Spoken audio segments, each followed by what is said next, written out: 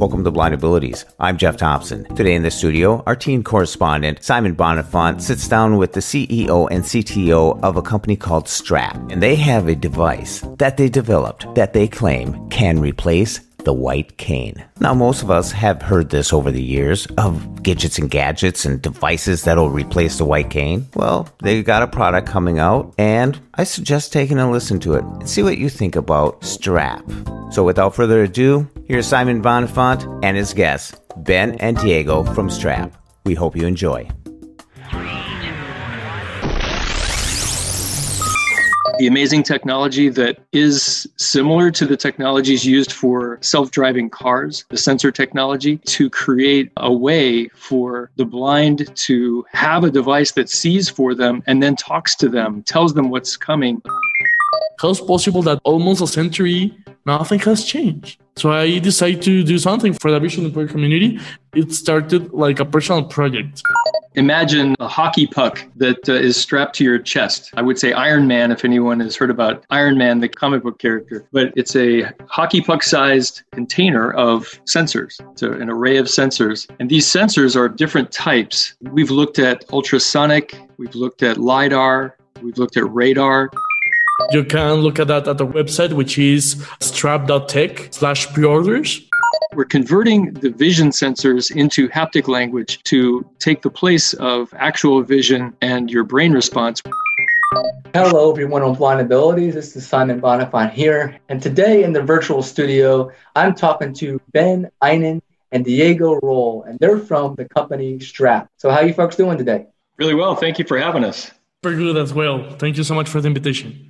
Oh, my pleasure. Very nice to have you on. It's great to finally meet. And Diego, you're the founder and CEO, and Ben, you're the CTO. Firstly, tell listeners what Strap is. Of course. Strap is the world first straw replacement of the white cane for the visual impaired. And I know that the headline it may sound like a little bit like, hey, no way, that's impossible. But this is a wearable device that has a bunch of sensors on the chest and can detect any kind of obstacle talking about obstacles in the head area, in the chest area, even in the floor, including bumps, holes, and stairs. And it notifies the user by haptic feedback embedded in the wearable. So depending where is the what kind of pattern, the vibration, and the location of the haptic feedback, it means where is the obstacle, how far it is from the user, and how to avoid it. As long as other features that we can talk along later in the podcast, we aim to provide a little bit more independence to the visual impaired community. So to reduce the gap from people who cannot see and people who can see. So our goal is to make both groups to be able to make the same activities with the same amount of effort that we reduce the gap of, of effort between those who can and those who cannot see. Okay. And when was the company founded and how did you get involved? And can you kind of give a little background and kind of how you got into the blindness field? So the company was founded uh, on four years ago Nadia came four years ago. We have been formally operating as a business since 2018, and we have been three years developing the technology, which until today is fully developed. The R&D is finished, and right now we are preparing for mass manufacturing in summer. Ben, do you want to talk about your background and your story? Sure. I met Diego right as the pandemic started, actually, just before the pandemic was locked down. I met Diego and was just immediately connected with both my head and my heart. I'm an engineer by training, 30 plus years in the semiconductor industry, making microchips. So I love engineering problems, uh, and that was full of all kinds of challenges. But when I met Diego, I heard the amazing technology that he had created, and he just needed someone to help refine it and get it ready for manufacturing. That was my head part, the engineering side of me. But my heart was immediately connected because when I was a teenager, my grandfather went blind and I was able to help him through the process by creating helpful aids and devices to help him see as much as possible uh, before he went totally blind. From then on, I had a heart for helping those who couldn't see. I can see, but my heart is with those who are blind. When I heard about Diego's product that he's creating, the amazing technology that is similar to the technologies used for automatic self driving cars, the sensor technology, and the opportunity to create a way for the blind to have a device that sees for them and then talks to them, tells them what's coming or what's in the way through haptic sensors, I thought that was a great idea, had incredible potential and promise. So I'm thrilled to be a part of the company now. I joined the company in September beginning of September as this chief technology officer. Great. Coming back to you, Diego, how did you first get the idea for the product and how did you find out that this is a need that blind people would need and would benefit the blind? Everything started around way way years ago when i was 10 years old i was with my mom in a supermarket i saw a person with a mobility impairment but at the moment at 10 years old the truth is i i think i didn't didn't even knew impairments existed. So I was kind of like, wow, like, wow, who is this guy? Why he has a walker? Like he's super young. And plus a walker, he was stroke survivor. So he has his right arm or left, I don't remember, but one of his arms was like paralyzed. So he was unable to move the arm easily. So he had a kind of attachment on the on the elbow who helped him to grab one end of the walker and he grabbed the walker with the other end because along the stroke survivor his legs had some issue. And I, I keep staring at this guy like he, he gave my curiosity since it was the first time I saw something like that. And minutes later, this guy tried to grab an apple he had in front and he could not. And at that moment, I was kind of in shock because I was thinking to myself, like, hey, how is possible that something that is so easy to do for me or for any of us in the virtual studio right now, like grabbing an apple, for that person was nearly impossible. He needed to ask for help to be able to grab an apple, put it in a bag, and to the cart. And and again, I was like amazed. And that day, I make a personal promise that today is literally changing my life. And I promise myself that someday I will do something to make that person be able to grab that apple again with the same facility I was able to the truth is, Simon, Jeff, I forgot about it. I didn't th- I didn't think about that in the future until around six to seven years later. I had a kind of a flashback, and that memory suddenly came to the top of my mind again. And I was like, okay, like no way, I just remember this. And so I decided to to do a small research on Google, and I started to to research and to read a, a lot blogs and articles and stuff about mobility impairment. And I found out that for mobility impairment, there's a lot out there, and there's big corporations using millions of dollars trying to do exoskeletons and trying to do a bunch of different things like that. But I continue my research and I, I don't even remember how, but I, I ended up with a World Health Organization article stating that every five seconds someone in the in the world lost their sight and that we have more than 300 visually impaired people in the world and I keep digging on this topic, on the visual uh, impairment. And then I found out that the white cane for the visual impaired was made in 1921. And we are in 2020, nothing had changed. And I was wondering myself again, like, oh my God, how is possible that a tool where 300 million persons in the world daily deposit their life has not been updated for the world of today. Everything has changed. The way we move our cars, the way we dress, our phones, the construction we do, all our gadgets, just everything has evolved. How is possible that almost a century, nothing has changed? So I decided to do something for the visual impaired community. It started like a personal project. Since I was seven years old, I have been studying robotics and technology. And so I, I was learning a bunch of technology. I, am I'm also self self taught in robotics. Like I learned around seven programming languages through YouTube and electronics and how to make PCBs and all, all this kind of stuff. So I decided to do something as a personal project because I had at the moment a lot of free time. But like the project started to grow a little bit, and then I started to try this device with different visually impaired friends I knew like friends of friends and stuff, some contacts. And like they gave me like a huge list of things to change. Like, hey, I like these, but you need to change like a bunch of stuff. And they gave me a huge list. And I correct that features, I make the changes, I iterate with a feedback. And after that, they make another another testing round and another one, another one. And after the fourth or fifth testing round, there was a guy called Enrique. He was 15 years old and he was born blind. And his mom was making company to him on the uh, trial in the testing ground. And we met in a park, in in a, in a local park. So Enrique tried the device, he put it on. He was able to walk on the park,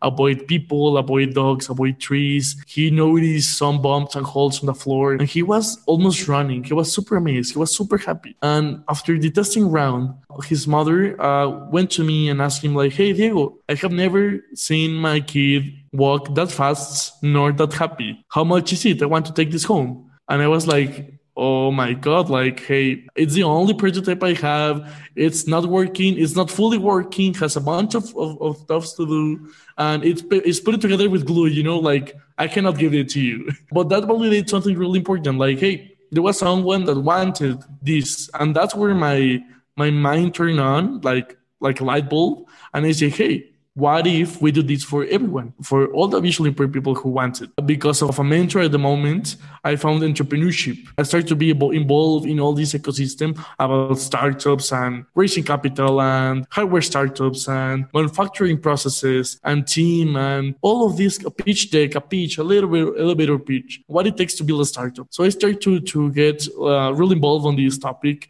I started to went to networking events, pitching events and stuff. And that's how I discovered the entrepreneurship or the startup world as the best channel or the best bridge to be able to, to solve two problems that I have. The first problem is that I wanted these two to become for the blind, for for them to make everyone who wants it to make them able to to have access to one. And second, to have the resources and the and the people I needed to do the device because there was a moment where the technology and the things that beta testers wanted to change, my technology capabilities were not enough to make that changes. They require way more expertise on certain areas, electronics, programming, and stuff. So I found this startup ecosystem as a perfect bridge to solve these two problems, and here we are. So Ben, can you kind of walk us through the technical side of things here. And you mentioned that it uses the haptics and vibrations to tell the user feedback. What is the technology that goes into the back end of making something like this? And how does it detect different obstacles? What is the engineering and technical side of it? Sure. First of all, it is a wearable. Imagine a hockey puck that uh, is strapped to your chest. I would say Iron Man, if anyone has heard about Iron Man, the comic book character, but it's a hockey puck sized container of sensors. It's an array of sensors. And these sensors are of different types. We've looked at ultrasonic, we've looked at LIDAR, we've looked at radar, and we're finalizing the sensor choices, like what capabilities they have, which way they should be pointed, and what kinds of uh, information they can gather basically replacing sight so we need we need the best vision in the down direction where the feet are going and then we need very good awareness of what's coming up in the forward direction at the chest level. And then, of course, we need something to uh, alert the wearer of any kind of an obstacle at the head level or, you know, above above the uh, above the torso. It's all forward direction, uh, forward and side. So there's nothing backward looking yet, but you know, future future ideas we have for 360 view things like that. But for right now, we wanted to replace the white cane. So pointing the sensors in the direction of the how a user would use a cane uh, to the floor, to the sides, and then even including the upper vision as well. We can then take the signals that come from these sensors and convert them through our electronics, our PCB full of, of chips and, and other components that convert these signals to export them to haptic sensors. And a haptic sensor is a vibration sensor. If you've ridden in any kind of vehicle that has uh, a vibration sensor that lets the driver know that it's going out of its lane, if you've heard about that, that's that's what it's like. So one type of sensor is they vibrate. There's another type of haptic sensor that pokes, like a finger poking you. Not hard, but just a, it's a different kind of sensation. So with those two basic haptic sensors or haptic devices, we can put them in the device itself on the back, so where it contacts your chest. And we can also put these sensors in the straps that go over your shoulders and around your midsection to hold the, the device to your chest. We can embed these haptic sensors in the straps as well. For example, if a tree limb is hanging down on the upper left side of your path, the upper left haptic sensor would vibrate in your strap to say, hey, it's, it's up near your head. Make sure you slow down or duck. It just lets you know it's there. And for example, if you're coming to a stairwell and it, the stairs go up, then we can have haptic sensors that poke that start at the chest level and kind of poke up the straps, for example. And if the stairs are short steps, they will go up, up, up. And if they're long steps, they would go up, if you can get the idea of my so what we're doing right now is we're creating we're actually creating a haptic language for the first time. And we're trying to make it as intuitive as possible so that wearers can intuitively know what's coming what's in their path where things are by feeling these haptic sensations that our device will transmit. If nothing is in the way, the device will be quiet and you'll just walk along. But if there is something in your way, it will start to alert you. Our plan is to have it when it's quite a distance away, it will start to alert you softly that something's coming. And then as you get closer, the intensity will increase. And then you'll know to move left or right or stop we're converting the vision sensors into haptic language to take the place of actual vision and your brain response. We're now we're now helping you get a similar brain response, but from physical haptic sensors sensed through your skin. Uh, you had mentioned that it takes a pretty short time for the blind user to learn these haptic vibrations. So if I was was trying this device out, can you kind of take the listeners through how you would show me the vibrations and how you would get me to understand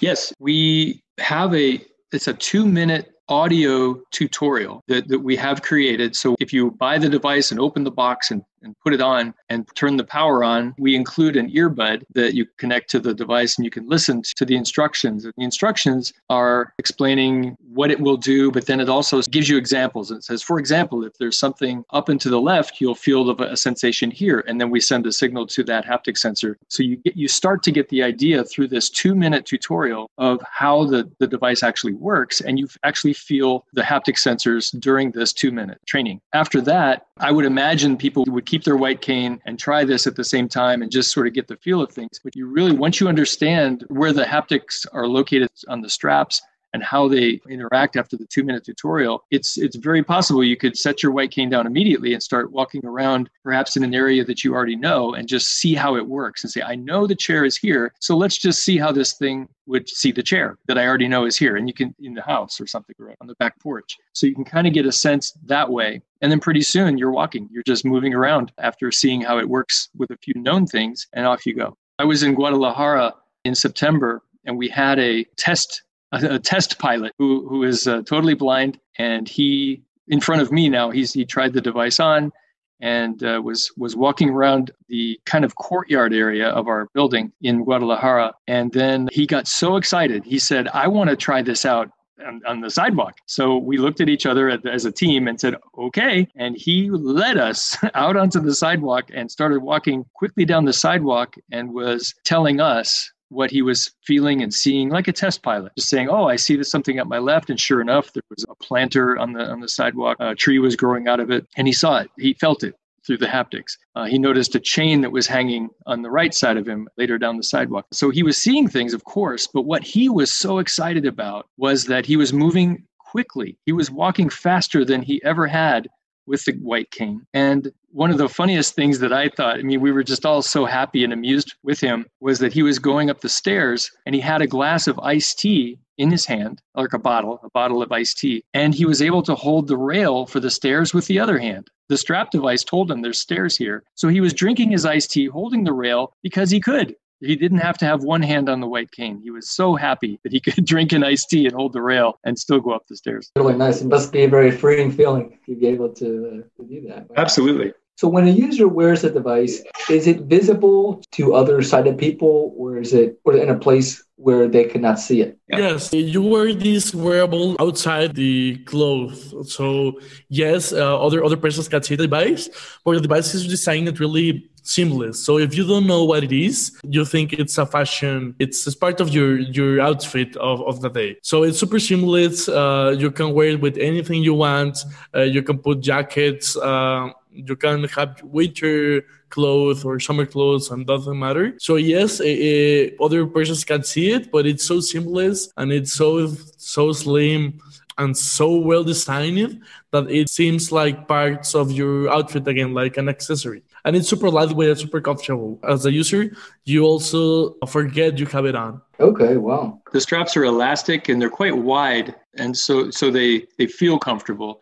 They are adjustable as well, so you can get it to, to fit nicely to you, such that it's not too tight, but it's contacting you so that you do feel the haptic sensors easily. So it's just a nice, comfortable fit, as Diego said. Oh, okay, great. I think one of the things that I would kind of have a question about, and, and I'm sure some listeners would, is if I was crossing a street with this and, you know, the cars, I think the white cane is really used as an identifier for the sighted population to see that blind people are blind and we have cane. So if I was crossing the street with this and cars wouldn't see this, I mean, would they think that I was someone sighted crossing the street? Because that could certainly cause a problem in that regard. Yes, there is no cane anymore. So the uh, person looks like any other person walking across the street. We have several ideas, and Diego can probably comment on even more. But one of them is to also wear an armband that uh, is an identifier as a way to help telegraph visually to the sighted people that you can't see, but you are wearing a device that helps you move around. And uh, so anyway, that's one one way we've thought it. Was. So we have made some arm armbands and as ex- first examples of how we would do such a thing. Okay, so you had mentioned that I believe that you're in the pre-order stage. So we'll talk about the price in a minute, but, but what's the status of uh, when the device is going to actually be hitting the market?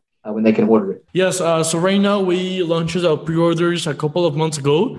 You can look at that at the website, which is strap.tech slash pre-orders. So right now we are uh, having a discount. So the, the the price to the market it's of seven fifty dollars, but right now we have a discount to five hundred dollars. But you don't need to pay full to be able to to secure your unit. You just need to pay an upfront fee of fifty dollars, which with that you save your device, and when we are ready to ship, you will pay the rest of the money. And we are delivering the first units in summer, and after that we are going to take away the discount, make the price again of 750. Uh, anyone can have access to that worldwide shipping. So anywhere you are, you can pre-order or order it uh, after summer. Okay, so so after the first couple devices are shipped, you're planning to take away the discounted price. So so it sounds like if someone wanted to uh, pre-order the device, it sounds like they would do that now and they'd be able to take advantage of the discount. Yeah, fifty dollars down, and then it holds the device for you for when we release it. That's right. Okay, great. And how is the battery on the device? Can you talk about that? Yeah, a lot of people are concerned about that. And our goal is to have minimum of 24 hour battery. As I said, we're,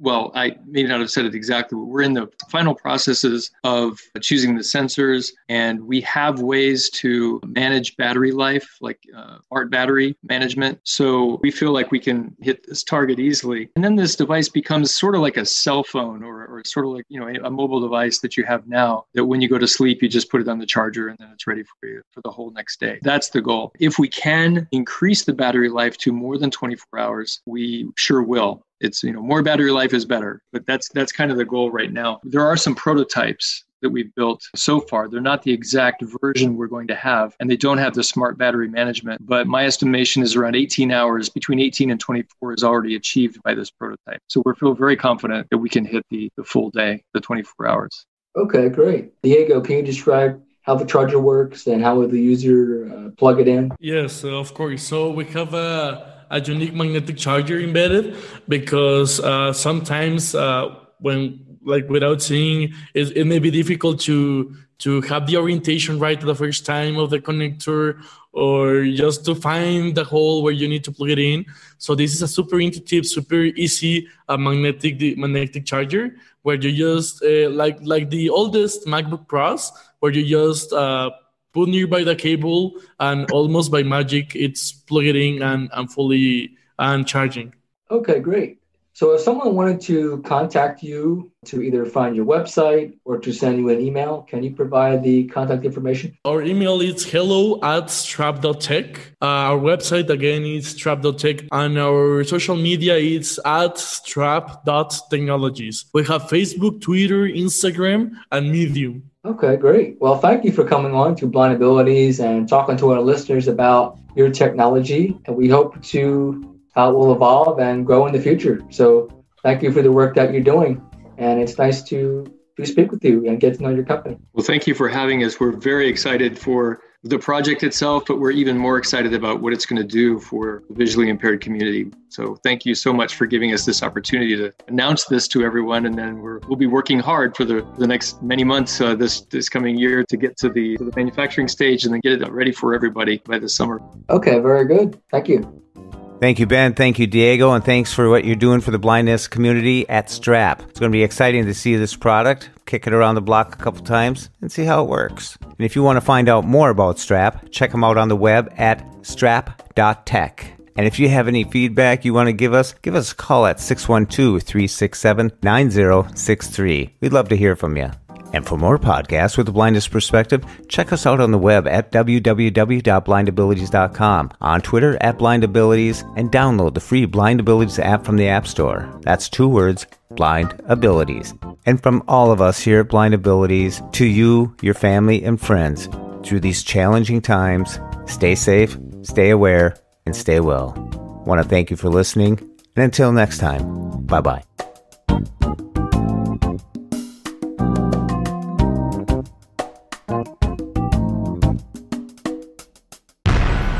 When we share what we see through, through each, other's, each other's eyes, eyes, we can then, we can then begin, begin, to bridge, the gap between, between the limited expectations and the reality, of blind abilities. The realities of blind abilities. Of blind abilities.